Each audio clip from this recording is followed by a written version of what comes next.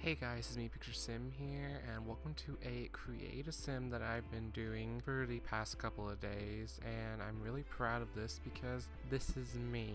My full name is Sterling Grissom. I'm not gonna tell you my middle name because then that will really describe me as who I am. But anyway, I just wanted to kind of show you guys what I would look like and everything. And this is not all true. I think some places I'm like, oh, I look worse, and some places I'm like, oh, I look a whole lot better. But um, there are some parts of this, especially when I get to the eyebrows and area, like it is absolutely. I look literally horrendous when I don't change my eyes and change my eyebrows before anything. So be prepared for that. And um, I will talk to you guys later. All right. Hope you guys enjoy the video. Please leave a like, comment, and subscribe, and I'll talk to you guys in the next video. Bye.